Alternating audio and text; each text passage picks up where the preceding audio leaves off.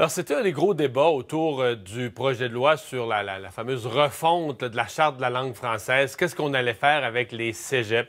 Euh, il y avait une poussée, évidemment, de gens plus nationalistes, défenseurs du français, qui suggéraient qu'on puisse appliquer, finalement, le critère de la loi 101. Si vos parents n'ont pas étudié euh, en anglais, ben vous allez aller au cégep en français pour les enfants d'immigrants. Et euh, c'est pas ce que fait le gouvernement. Hier, cet amendement donc, du Parti québécois a été rejeté. Euh, le gouvernement qui a quand même resserré encore. on gèle le nombre de places. Euh, donc, on limite la croissance des cégeps anglophones qui ont recruté beaucoup de clientèle ces dernières années. Maxime Laporte est le président du mouvement Québec français. Bonjour, M. Laporte.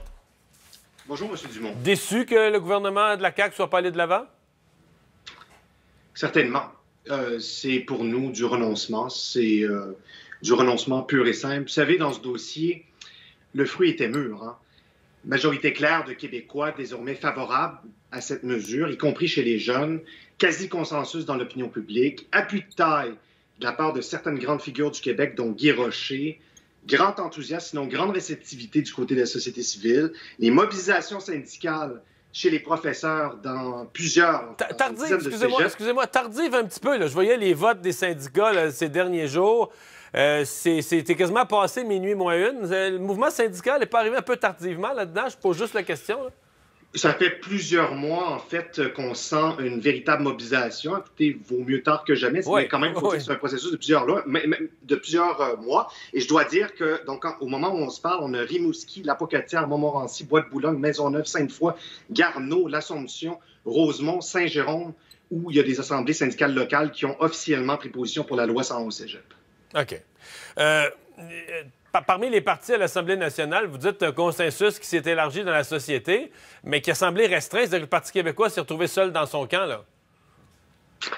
En effet, euh, euh, c'est difficile à expliquer. Comme je l'ai dit, euh, le fruit était manifestement mûr. Vous savez, nous, ça fait 20, 25 ans qu'on se mobilise pour cette solution qui est la seule solution viable pour l'avenir du français pour renforcer le statut du français dans notre système d'éducation supérieure. Et ce qui est d'autant plus frustrant, c'est que, vous savez, c'est un secret de polichinelle. Tout le monde savait bien que le ministre Jolin Barrette lui-même était personnellement favorable, favorable à la loi 101 au cégep. Alors, force est, de constater qu'il a perdu son combat euh, face à ses collègues. Et par le fait même, force est de constater qu'à la CAQ, eh bien, c'est surtout l'aile antinationaliste qui littéralement fait la loi pas un petit peu gros antinationaliste? C'est quand même. Pensez pas quand même que dans l'ensemble, c'est une réforme de la langue française qui renforce la, charte, etc. Je comprends que sur ce point-là, ça va pas aussi loin que ce que vous auriez souhaité. Puis moi-même, euh, ma, pensée a évolué, puis je suis un peu rendu de ce côté-là, mais quand même un renforcement de la charte de la langue française dans son ensemble, non? Est-ce que c'est pas anti, là? Bien, écoutez, vu la gravité de la situation linguistique, je pense que les mots doivent être graves. Puis en prenant un peu de recul, euh, vous savez, moi, je conçois un peu le projet de loi 96 comme une sorte de test ultime pour le camp fédéraliste.